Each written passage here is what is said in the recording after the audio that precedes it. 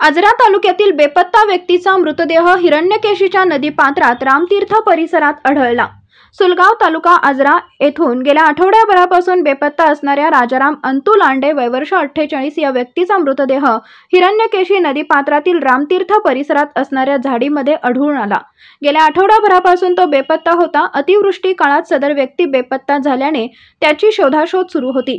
दरम्यान आज दुपारी काही स्थानिक नागरिकांना नदीपात्राच्या काठी असणाऱ्या झाडामध्ये एक मृतदेह अडकलेल्या स्थितीत दिसून आला. स्थानिक पोलिसांना सदर माहिती मिळताच पोलिसांनी तातडीने तेथे धाव घेतली व अधिक माहिती घेतली असता सदर राजाराम यांचा नदीपात्रात पडून बुडून मृत्यू झाला असल्याचे आढळून आले आहे.